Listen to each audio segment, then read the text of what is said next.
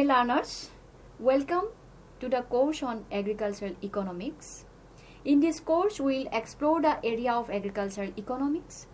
We'll study the application of economic principles to understand the production, distribution, and consumption of agricultural product.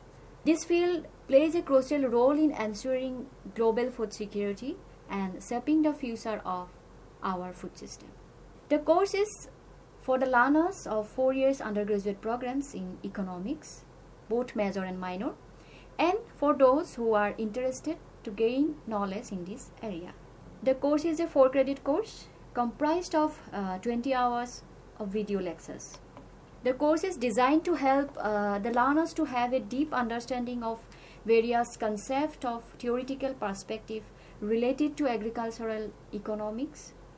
It covers wide range of topics aimed at equipping learners with the knowledge and skills necessary to analyze and address economic challenges and opportunity within agriculture and rural development. The course assists learners to apply analytical, business and managerial skills to range of activities in the field of agriculture. This course helps in understanding how resources such as land, labor capital and technology are allocated within the agricultural sector. Efficient resource allocation is crucial for maximizing agricultural productivity and profitability.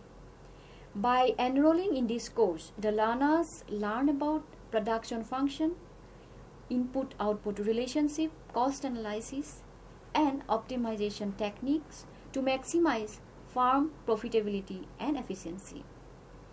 It provides insight into the functioning of agricultural market including supply and demand dynamics, price determinations, market structure and market integration. The course enlightens the role of government policies intervention in shaping agricultural market and influencing farm income, production and trade. It enables learners to learn about agricultural policy, instrument, including subsidies, price support, trade policy and their economic implications. The course provides an in-depth knowledge about market failures, externalities and policy instrument for uh, promoting sustainable agricultural practices and natural resource management. So dear learner, hope you will enjoy this course. Thank you.